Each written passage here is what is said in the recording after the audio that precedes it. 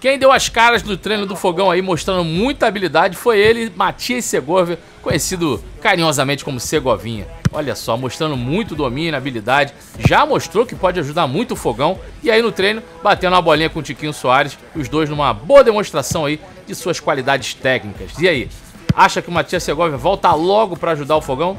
Não se esquece de deixar aquele like aqui e seguir o canal Gigante Glorioso, que aqui é Botafogo. Valeu! gotta